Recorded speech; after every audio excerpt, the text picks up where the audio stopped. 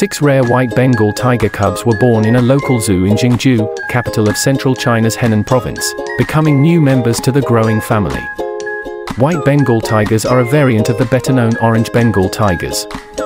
As their coloration is dependent on a defective gene that is passed on from their parents, such tigers are extremely rare, and the birth of six cubs at one time is an irregular occurrence, making the rearing and caretaking a huge challenge for zookeepers.